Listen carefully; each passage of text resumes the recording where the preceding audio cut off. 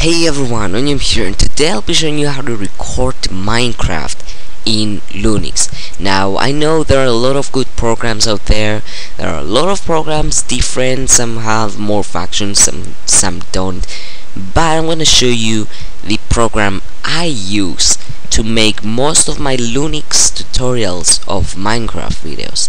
Um, so what I'm using right now is record my desktop It's a really good screen recorder uh, and that's what I'm using right now to make the tutorial.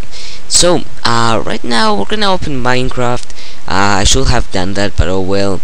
Uh, we're gonna quickly click on play and um, what I'm gonna do right now is I'm gonna go to the window of record my desktop and I'm gonna go ahead and as you can see this is a preview area.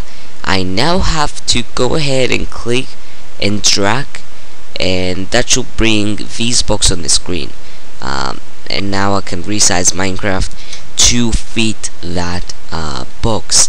Now there there is one more way just clicking select area on the screen which is really better but uh, I'm not gonna show you right now so we're gonna go ahead to our test world.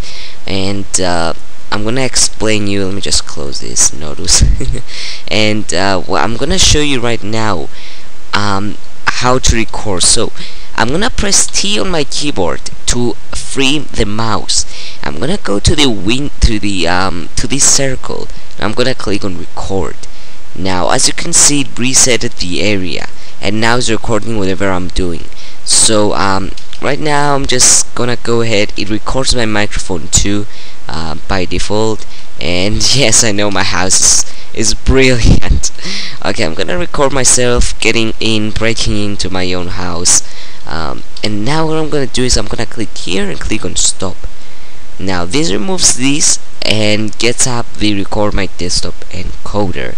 So the encoder what it actually does is makes the whole video into one uh, into one file and compresses it for the megabytes so it, it's not gonna be a really huge file.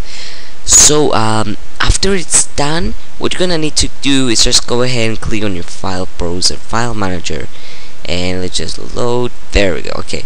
And now we're gonna go ahead to out 2 or out 3 for me .ogv I'm gonna double click on that and as you can see it's recording.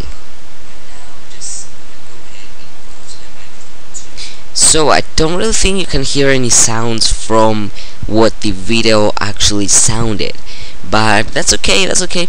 And what we're gonna need that what the compressor did is made this file into 25 megabytes which is brilliant. And yeah so that's basically how to use record my desktop or how to record Minecraft and it's pretty awesome. I know as I said before there are a lot of good software there are a lot of good screen recorders for Linux. Um, like simple screen recorders really awesome. Um, but record my desktop actually gets it's what I'm using right now for the most tutorials I'm using and the most things on Linux. Basically every one of those not just in most so yeah that's basically it.